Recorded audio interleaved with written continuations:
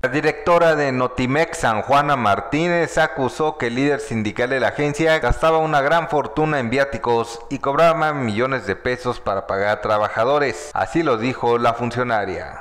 Eh, una mafia sindical, una mafia que antes fue un sindicato y que se convirtió en una mafia precisamente, y que tenía secuestrada a la agencia.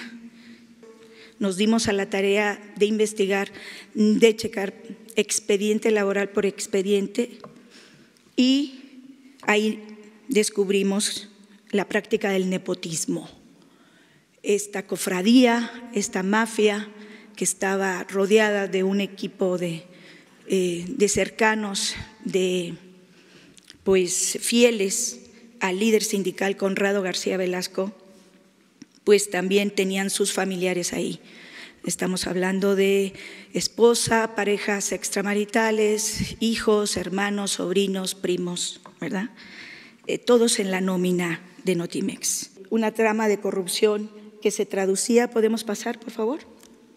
Que se traducía, por ejemplo, en viajes, 28 viajes de líder sindical, pues internacionales y nacionales, no sé cuál era la justificación, pero con más de alrededor de 500 mil pesos en viáticos, más aparte habría que contar los vuelos y otros gastos. Eso también lo estamos eh, investigando. Y por supuesto, estas componendas económicas que recibía eh, el señor Conrado, que tenían que ver, pues justamente, con apoyos en concepto de apoyos que se les entregaba.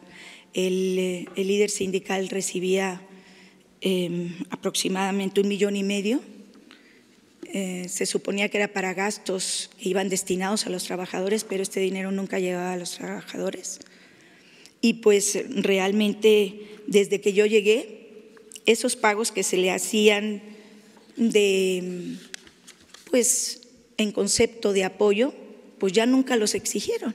Casualmente desde que yo llegué nadie se acercó a pedirlos. Aseguró que ya se ha solucionado la mayoría de los temas y que los inconformes que se manifiestan en diversos medios exigen ser reinstalados en sus puestos. No se han violado los derechos laborales de ningún trabajador. Se ha respetado el marco jurídico, quien se hayan entablado negociaciones en cada caso no podemos considerar y no podemos tratar igual a todos, porque como les decía, había una gran diversidad también de anomalías en los términos laborales y particularmente en la nómina. Creo que ellos están en su derecho de seguirse manifestando.